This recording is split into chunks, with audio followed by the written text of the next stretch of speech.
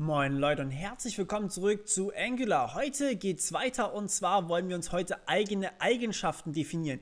Das ist einfach nur das ganz normale Template, relativ simpel und wir haben jetzt hier einfach nur einen normalen Paragraphen mit Hello Angular drin und ja, wir wollen jetzt eine eigene Eigenschaft erstellen. Das bedeutet, wir hatten schon sehr, sehr viele Dinge gesehen, wie zum Beispiel hier SRC drin oder ähm, ähm, ähm, ja, solche Dinge halt. Und ähm, sowas kann man auch für Komponenten definieren. Das heißt, ich kann für meine Video Component sagen, hey, der Tag hat diese und diese und diese und diese Eigenschaften. Und ja, das kann ich tatsächlich machen. Jetzt brauchen wir allerdings hier drin nochmal die App Component.html, denn hier haben wir das App Video verwendet.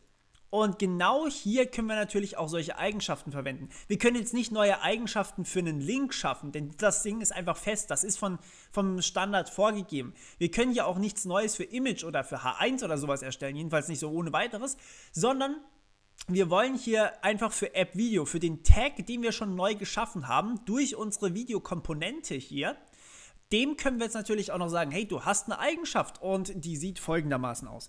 Und ja, jetzt können wir hier einfach hergehen, wieder mal die eckigen Klammern, wie wir es eben bei SRC oder bei Image oder sowas auch alles gemacht haben. Und jetzt sagen wir einfach, okay, wir brauchen eine Eigenschaft, äh, wie zum Beispiel ähm, Eigenschaft. Wow, ich bin heute so einfallsreich, findet ihr nicht auch? Ähm, und ja, diese Eigenschaft setzen wir jetzt einfach mal für diesen Tag hier, Achtung, nur für den hier, ähm, das kann bei jedem natürlich anders sein. Wir müssen sie nicht setzen, wir können sie auch anders setzen und so weiter und so fort. Die setzen wir jetzt hier einfach mal auf Fu. Na, ach komm schon.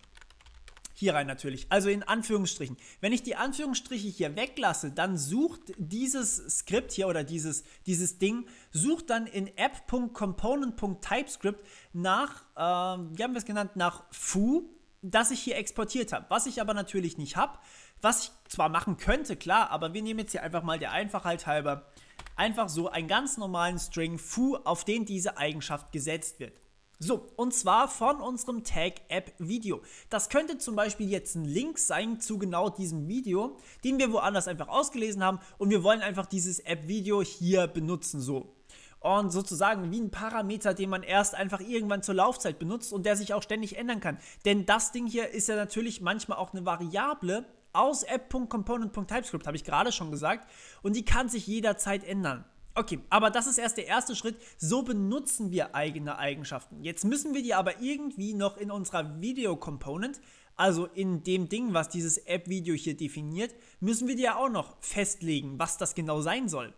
Denn ansonsten haben wir zwar eine Eigenschaft gesetzt, wir wissen aber nicht, was wir da eigentlich gemacht haben, beziehungsweise vor allem unser Browser weiß es nicht und das wäre fatal.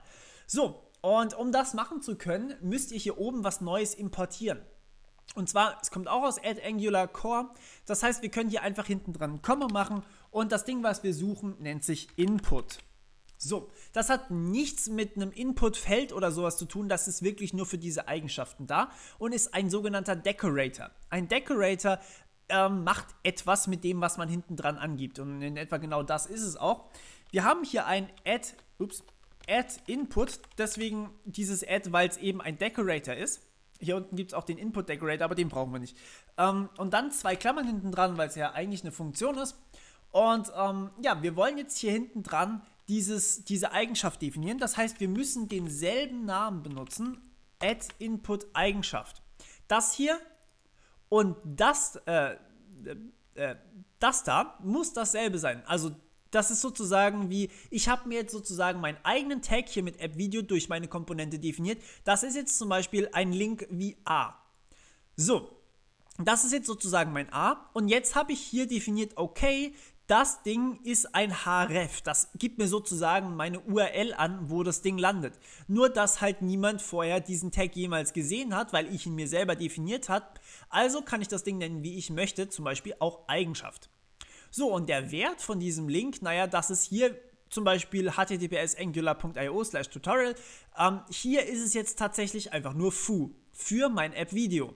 Und das bekomme ich natürlich hier jetzt gesetzt. Das heißt, ich kann hier machen, was ich möchte mit dieser Add-Eigenschaft.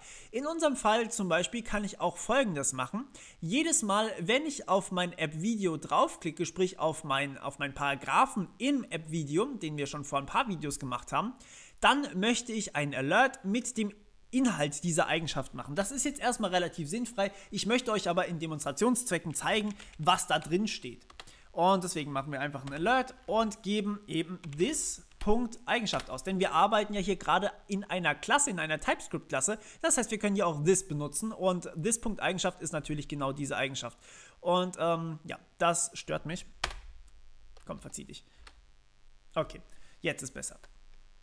So, und jetzt ist es wieder da. Na toll. Egal. Auf jeden Fall können wir jetzt hier mit dieser Eigenschaft arbeiten. Und das sieht folgendermaßen aus. Wenn ich jetzt das Ding hier habe, ähm, die Konsole brauchen wir eigentlich gerade gar nicht. Wenn ich jetzt hier draufklicke, naja, dann wird mein Input, äh, mein Klickhändler benutzt und es wird diese Eigenschaft ausgegeben. Was ist denn diese Eigenschaft? Ja, die haben wir hier nirgendwo definiert. Seht ihr hier irgendwo eine Definition dazu? Nö. In video.component.html steht auch nichts von dieser Eigenschaft drin. Die haben wir nirgendwo definiert. Die kommt von demjenigen, der unsere Komponente benutzt, also wirklich einsetzt. Das hat der definiert und zwar in der App-Component.html hat er hier einfach gesagt, hey, das Ding wird auf Foo gesetzt und damit kannst du dann irgendwas machen, du liebe Komponente. Das heißt, wenn ich jetzt hier draufklicke, wenn ich jetzt hier draufklicke, dann bekommen wir erstmal gar nichts. Was natürlich daran liegt, dass ich den Input-Händler nicht festgelegt habe, den wir vor ein paar Videos mal benutzt haben und jetzt mittlerweile nicht mehr. Das heißt, ich mache das noch ganz kurz. Ich mache einfach nur, dass wenn man auf diesen Paragraphen draufklickt, dass dann eben diese Eigenschaft angezeigt wird. Und äh, ja, im Endeffekt ist das alles, was ich machen muss hier.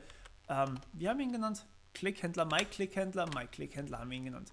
So, also wenn ich jetzt auf den Paragraphen draufklicke, dann passiert auch was und wir sehen hier, es wird angezeigt, Fu ja, der Weg ist jetzt zu diesem Fu relativ komplex gewesen. Klar, wir hätten auch einfach Fu ausgeben können, aber der Sinn ist natürlich, dass wir uns eigene Eigenschaften definieren konnten. Und mit denen können wir jetzt hier in der Klasse machen, was wir wollen. Wir können sie verarbeiten, wir können irgendwas dran verändern. Vielleicht ist das auch einfach tatsächlich ein Link, wo ich dann weitere Informationen bekomme. Das heißt, in meiner TypeScript kann ich jetzt zum Beispiel sagen, hey, das hier ist ein YouTube-Video-Link, wie zum Beispiel zu diesem Video hier.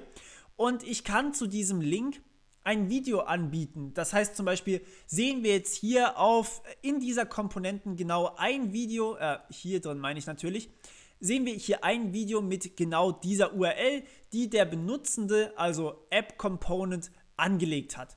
Das wäre ein Anwendungsszenario, ist aber wirklich nur eins davon. Könnt ihr machen, wie ihr wollt. Okay, und das ist natürlich sehr, sehr cool und ja, verdient es natürlich auch erwähnt zu werden. Okay, das war's von meiner Seite schon wieder. Wir hören uns beim nächsten Mal. Bis dann. Ciao.